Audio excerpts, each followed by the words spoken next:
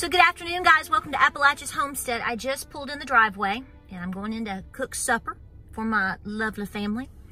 And um, I've been listening to some sermons. I've been listening to some podcasts because I had to go run some errands. And today was Gabriel's first day of college. And that video will come up before this one. I hope it's loaded by now. But you guys have been on my mind. And a lot of the comments that I read this morning are on my mind.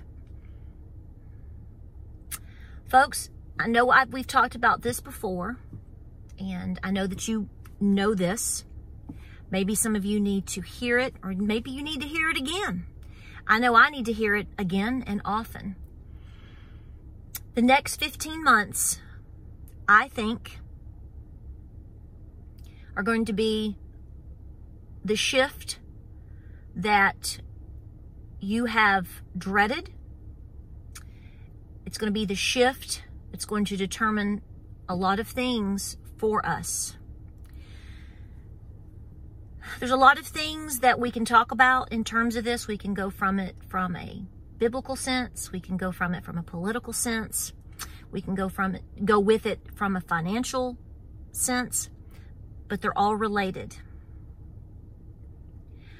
I was talking to my mom earlier and I was telling her about a lot of the comments over the past day or two that I've been getting. And I hope, I know everybody's busy, okay? But if you get 10 or 15 minutes and, you know, you're eating a sandwich and you just need to chill for a minute, um, the videos that I put out yesterday, there are some comments. I mean, it's the majority of the comments. It is amazing to hear and see everyone's life experiences right now.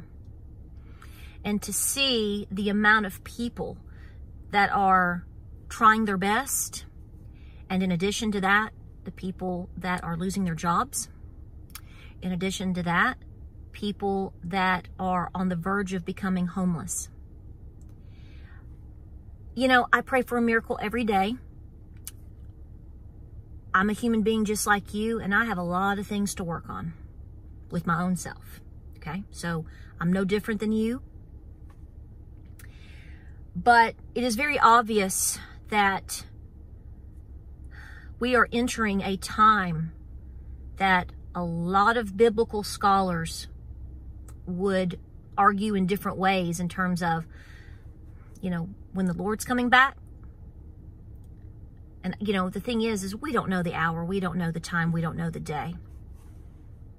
And there are also differences in the Christian faith in terms of when that will happen in alignment with all of the things that we're seeing. Basically, you know that I'm going with pre-trib, mid-trib, no trib. You know, I'm going no trib. Oh, there's going to be a trib. You're going we're going to be all up in that trib. It, the crib and the trib. so, silly humor there for you because this is a serious conversation. We cannot stop what is coming.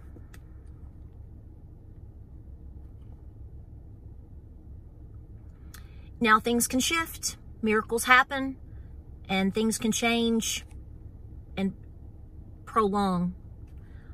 But the ultimate end of the day conversation is whether it's today, whether it's in five years, whether it's in 10 years, I don't know. Um, but we cannot stop what God has told us is coming.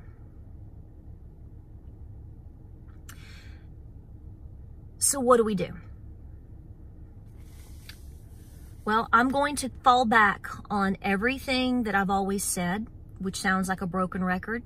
But this is where we have to put our faith, and that is getting right with God, not being cowards and shutting up.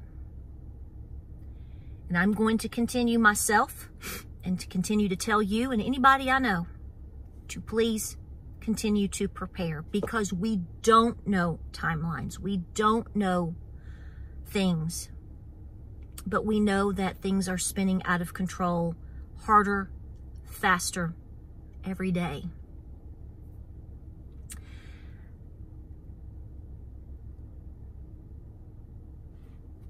Everything that you do will not only make a difference for yourself, but it will also make the difference for others. You may be the lifeboat for others. You may be chosen to be that lifeboat for others. Now, I know I've said in the past in several videos that no one's coming to save you. Um, I believe that. The only one coming, the only one that's, the only one that could come and save you has already done that. He's done it for me and he's done it for you.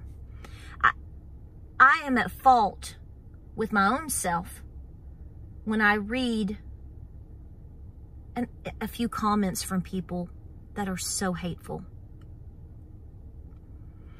Because I'm trying to get into the spirit of not being offended. And I don't necessarily get offended when I get name called or accused of being a racist or which is the most foolish thing anybody's ever said to me. But but I know that I'm not dealing with human beings that say these things. And I, I know the demonic spirits are in a lot of control right now of a lot of people. But if I cower now, which I'm not cowering, that's not the right word. If I get affected by that now, then I'm not going to be strong enough for what else is coming to me as an American, as a patriot, as a Christian, as a woman. I really want to encourage you to self-explore the things that you you you need to improve on. I think we all have these, so you know that's what I'm saying. I'm not going to shame anybody for certain things because I have my own and I'm admitting them to you because I want you to know and see that we all have these things. I need to be praying more. I need to be walking with God more. I don't know the schedule and time of things. And anybody that tries to tell you that, they don't know. That's, that's, no. But there are signs of things that have been happening. And we all know this. And I think it makes everybody nervous. And I, you know, I've had to deal with that with myself. And I come back to, you know what? And I say this because I know I'm not, I'm not worried about me. I'm worried about my children like probably you are too. I'm worried about people that don't know God, don't know Jesus. And so, therefore, when we get in these moments, i I'm there. I get there. See, I'm no different. We have to say, what am I supposed to do with this? Okay, Lord, what can I do? How can I serve you today?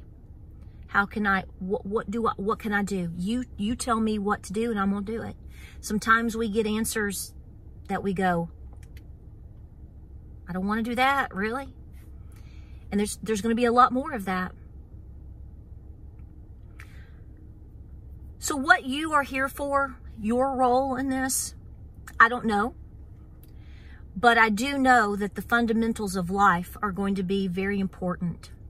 And the more physically abled you are because you've made the decision as best you can, as best you can, to make better life choices in terms of your health and your physical fitness, your financial fitness, your pantry fitness is going to keep you as main, you know, even kill as possible. You see where I'm going with this? So that you can help others. Because when it gets out of control, which folks, we're on a lot of edge right now. People are on the edge. And that's, as a human being, as a woman, that's very scary to see. But it's, it's where we are. And we have to come to terms with that. I have to come to terms with that. And I, you know, I know these things, but then you see something else happen or you see somebody else just spew such un, unbelievable, incredible hate. And it breaks my heart, really, more than anything. Because if you're walking around hating people so much, hating things so much, hating God so much, you're not you're not in tune to understand all the things that are swirling around you. And I know you're not, I know those people aren't preparing. You know they're not. Okay, I don't know that. That's an assumption, but the bets are good. all the things that you're doing is going to help others. And maybe your mission, maybe my mission is not necessarily to have a nice pantry, is not to teach you how to grow corn, although that's important. I don't know. But it's to send out a lifeline for people to do with the best that they can in order to ensure all the things that we're seeing. I mean, you know, you you heard about end times growing up, right? I did. But to see how fast things are spinning out of control is unbelievably unnerving. And it's been this way for a while. And a lot of people are still ignoring it, and a lot of people are still not listening. I get it. But that doesn't mean we shut up. I do encourage you to very much every day, twice a day. I, I, I, want to really motivate you and encourage you to start carrying your Bible with you because a lot of times people talk about how busy they are. We're all busy. And so you go places or you're sitting in the car or maybe you're waiting on your child to get out of school or I don't know. But it is a great time for you to continue to take advantage of every moment that you can to get into the Bible. Even if there's parts you don't understand, pray, we got to pray about that. I'm not a scholar. I'm not a biblical scholar. You know, I went to church all my life. I know things, I, and I still believe a lot of things that I was taught growing up. You're going to say, what did you, what, what, what did you believe then that you don't believe now? Well, I'm going to tell you what I think. I, what I'm really talking about is the whole idea of the rapture. And, you know, this is not something that I'm going to debate because, you know, fundamentally, it doesn't matter. It doesn't matter if you believe that the rapture is going to happen before tribulation. It doesn't matter if I believe that we're going to be here for at least half of it. Um, or we're going to be here for the whole bit. Because what's going to happen is what is what's going to happen. That's what I've come to terms with. So us arguing about it is a waste of time. And I take the I take the attitude of if the people that believe in the rapture, twinkle of an eye, you know, are right, well then that's gravy. But if I'm right and we have to endure a lot of things, don't you wish you prepared for that?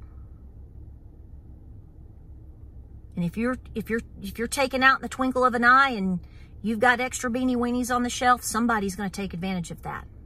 Maybe that was what we were meant to do. I don't know. I don't know. And I'm not going to worry about that part anymore. But pray for miracles and pray for goodness.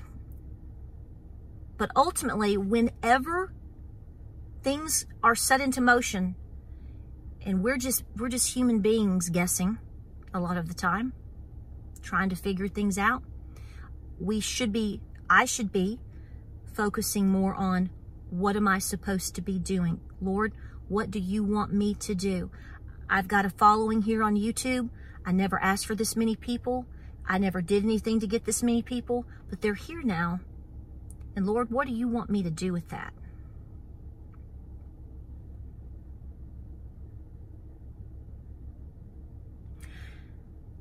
Please pray for the people that are hating people like us at this point. They need a whole lot of Jesus. I need a whole lot of Jesus too, so that doesn't erase that. A lot of people that do follow my channel that I do think are good, God-fearing people, well, they have faults we all have faults. So let me say this again, and this is what I believe. It's not to argue, upset anybody, because this upsets people a lot. And I know that. But do you want to live a lie? Do you want to be lied to? My thoughts are a lot of things are in motion. And the timeline, I don't know. But I'm doing everything that I can to understand better. And I'm, and you know what? Today has been really a great day, but it's been a, it's been a slap back because I go, I'm not, I'm not, am I not doing things right? Do I need to be doing more? And the answer is yes.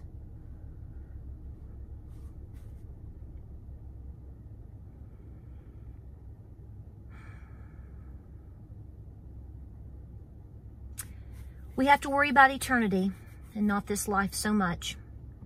But we do have responsibilities, in my opinion. And I do feel that we are being called to prepare. I think I was called a long time ago to prepare.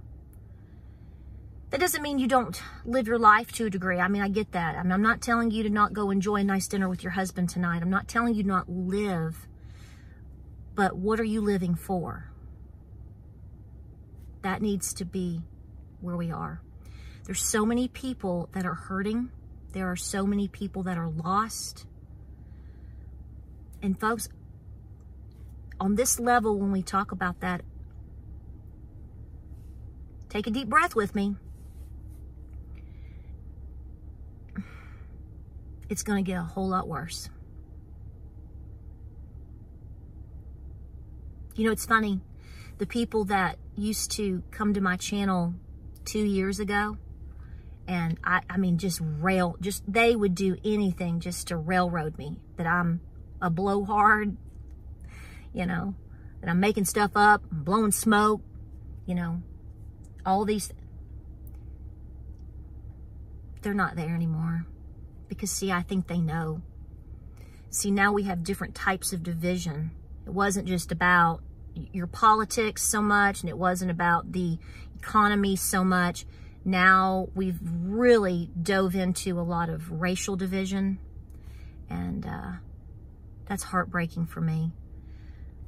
There's been a lot of you that are, pardon me, I'm just going to say it, okay, that are black that have stood up for me and have stood up for we have to take care of each other and I want you to know, I, I take, I, I, mean this for everybody here, but particularly I am want to say, because I had some comments this morning that I just shook my head at, and I was like, Lord bless them. And then I, then there's been some other comments that I got that I went, Lord, I'm praying for them. The division is great, and it is unfortunate, but it is all part of the plan. And people are being deceived and are very confused. And they're focusing on the wrong the wrong context of issues.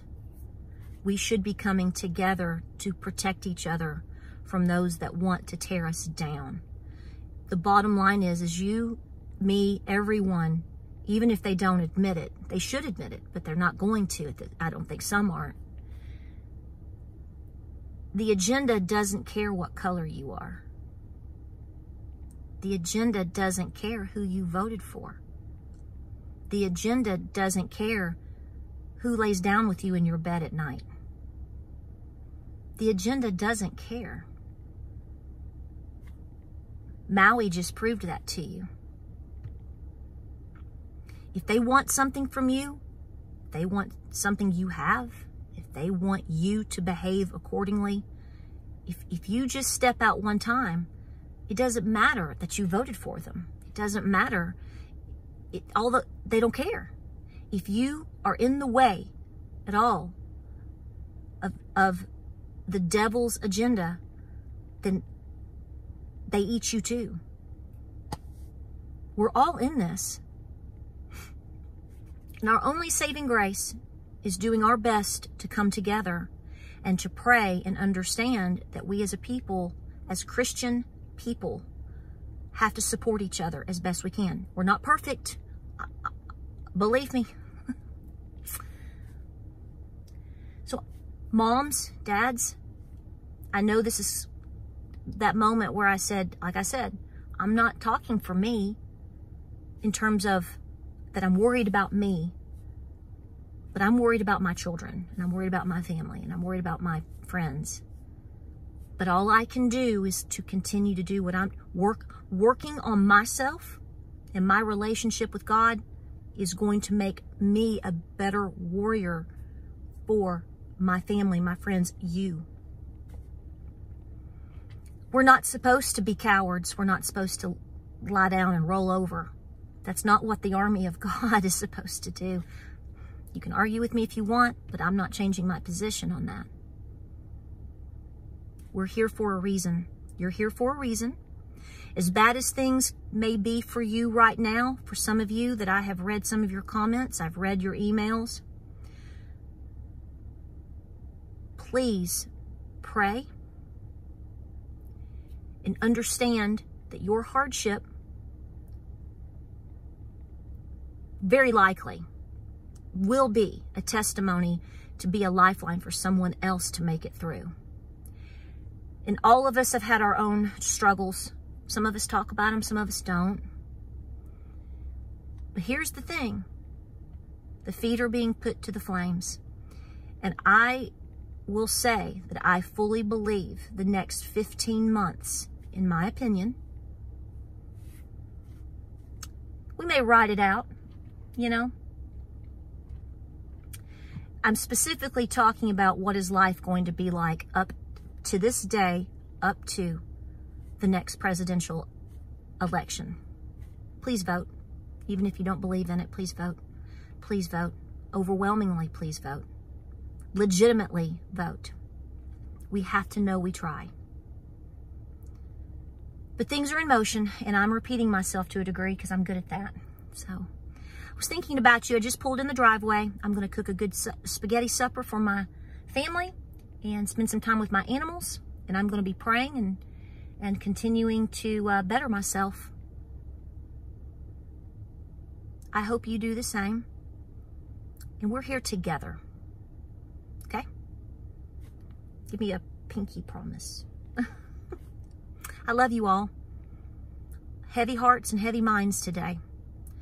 But again, we're not stopping God's plan. And we have to come together. Like, subscribe, and share. Have a great evening. And guys, I'll see you tomorrow on the next video.